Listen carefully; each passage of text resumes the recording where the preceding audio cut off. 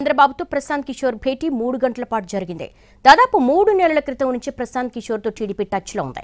గతంలోనే ఓ రెండు సార్లు పీకేతో లోకేష్ భేటీ అయ్యారు. ఇప్పుడు చంద్రబాబుతో భేటీ అయిన ప్రశాంత్ కిషోర్ ఎన్నికల్లో అనుసరించాల్సిన వ్యూహాలపై చర్చించారు. ఎన్నికల్లో సోషల్ మీడియా క్యాంపెయిన్ బాధ్యతలను ఇక నుంచి ప్రశాంత్ కిషోర్ హ్యాండిల్ చేసే అవకాశం ఉంది. తాను తెచ్చిన సర్వేల వివరాలను చంద్రబాబుకు వివరించారా పీకే?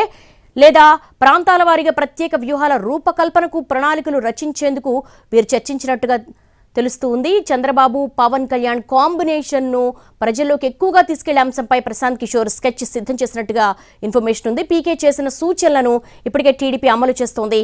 పీకే గైడెన్స్లో రాబిన్ శర్మ టీం కూడా పనిచేయబోతోంది.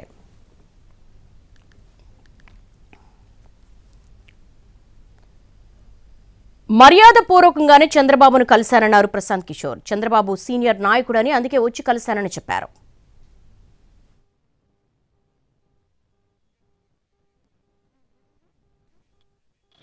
Chandrababu Naidu. This was a courtesy meeting, long overdue. I told him that I will come and meet. I'm going back. Don't get too excited. It was just a courtesy meeting. He's a senior leader. He wanted to meet. I met Chandrababu Naidu. This was a courtesy meeting, long overdue. We- I told him that I will come and meet. I'm going back. Don't get too excited. It was just a courtesy meeting. He's a senior leader. He wanted to meet. I met Chandrababu Naidu. This was a courtesy meeting, long overdue. We- I told him that I will come and meet. I'm going back.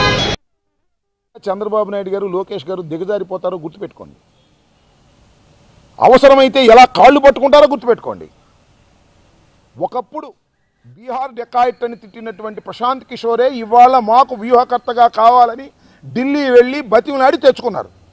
ఆ పీకే అయినా ఈ పీకే అయినా తెలుగుదేశాన్ని బ్రతికించే పరిస్థితి లేదని చాలా స్పష్టంగా చెప్పదలుచుకున్నా.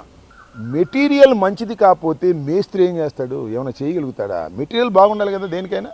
ఇప్పుడు ప్రశాంత్ కిషోర్ చనిపోయినటువంటి తెలుగుదేశానికి పోస్ట్ మార్టం చేయడానికి మాత్రమే పనికొస్తాడు తప్ప ప్రాణం పోయడానికి పనికిరాడనే వాస్తవాన్ని ఇవాళ కాకపోతే వచ్చి పరిశీలించిన తర్వాత